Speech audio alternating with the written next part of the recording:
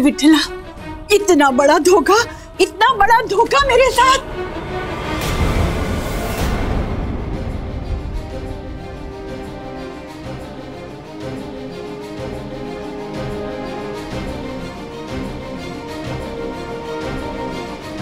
आपके लाने चाय लाए। कहते गर्मा गर्म चाय पीने से गुस्सा जल्दी ठंडा हो जाता है। मसाले वाली है। ठीक वैसी जैसी भाव के लाने बनाते हैं। इसका मतलब? इसका मतलब ये तूने किया है? कहा करते हैं मौसी जी? आप हमारे साथ खेल खेल रही हैं तो हमें भी तो खेल खेलना पड़ेगा। खेल खेलना पड़ेगा।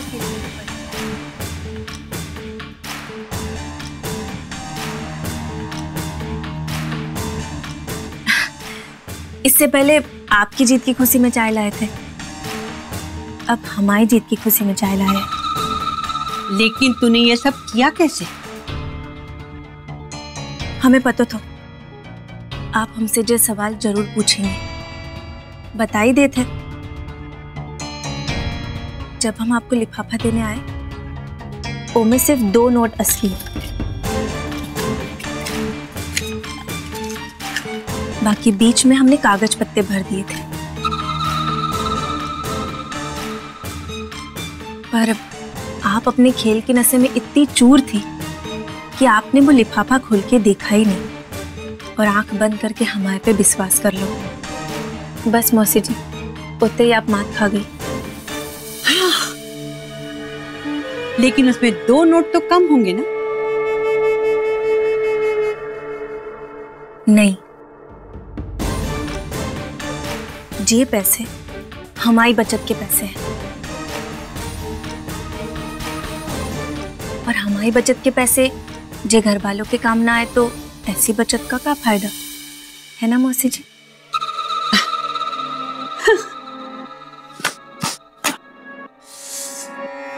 तूने शांता मौसी को धोखा दिया। मुझे धोखा दिया ना?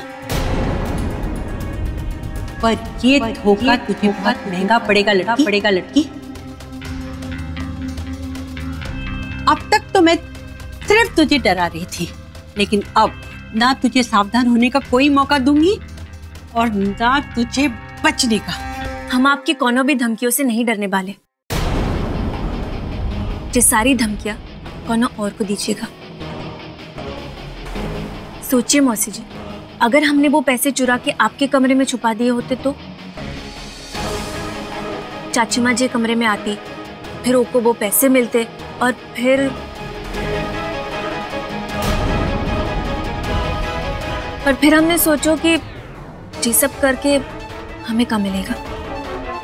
हमें तो आपसे वो चिट्ठी चाहिए वो चिट्ठी चाहिए। हमने ये सब सिर्फ़ आपको जे दिखाने के लाने करो है कि कहीं आप अपने ही बुने हुए जाल में खुद ही ना खुद ही ना फंस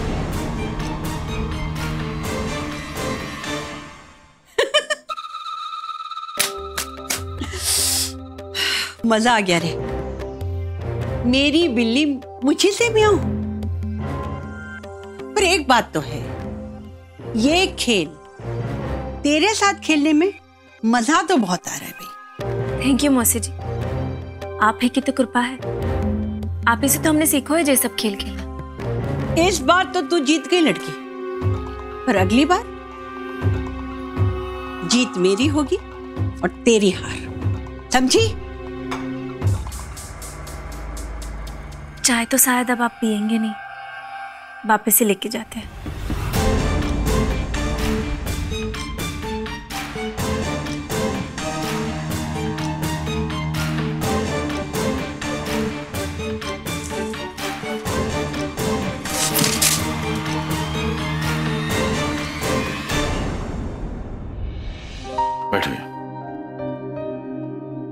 वैसे अ, बुखार काफ़ी तेज है। कब से हुआ ये बुखार? डॉक्टर साहब कल शाम को भवाना से वापस आया मैं।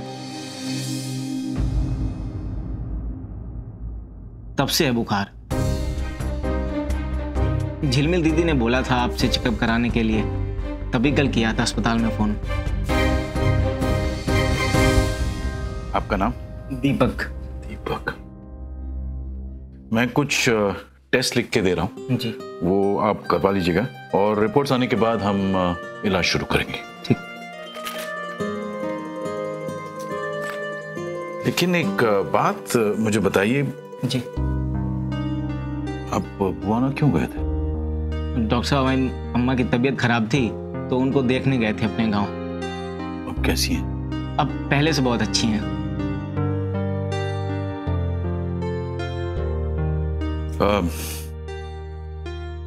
बचपन तो आपका वहीं बीता होगा ना? जी।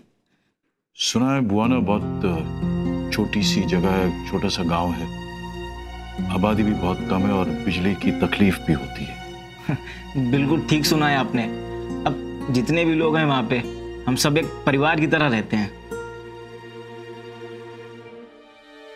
एक बात बताइए महुआ नाम की कोई महिला रहती है? बुआना में?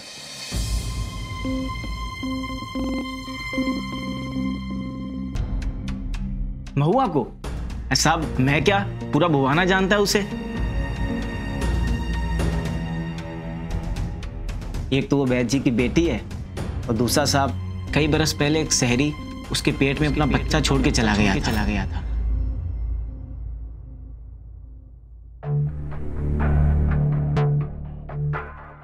उसके बाद से उसकी काफ़ी बदनामी हुई थी पूरे गाँव में।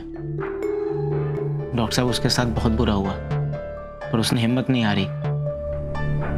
उसने बेटी को जन्म दिया, उसको अच्छे से पाला पोसा, पढ़ाया लिखाया, फिर उसको अपना जीने का सहारा बना लिया।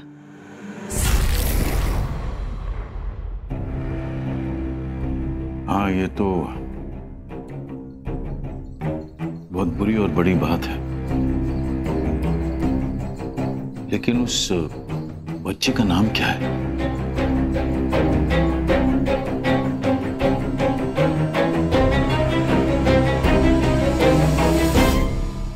मोही मोही मोही।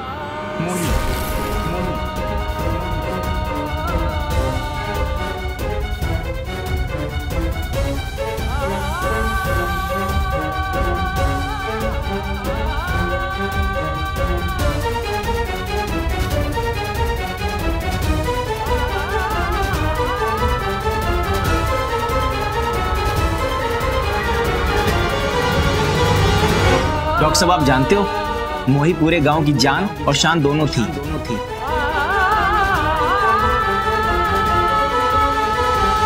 और कुछ दिन पहले वो शहर आ गई थी। एक्सक्यूज मी सर सर एक इमरजेंसी केस है। डॉक्टर पाठक आपको बुला रहे हैं। मैं आ रहा हूँ दो मिनट। ओके सर ठीक है साहब रिपोर्ट लेके आइए। जी धन्यवाद साहब। रिपोर्ट लेके आएँगे आपके पास।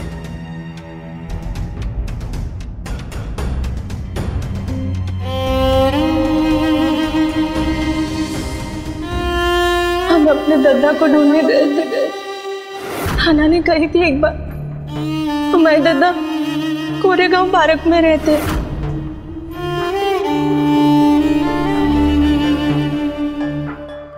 मोही मोही, मेरी बेटी मेरी बेटी, मेरी और मेरी और। महुआ की की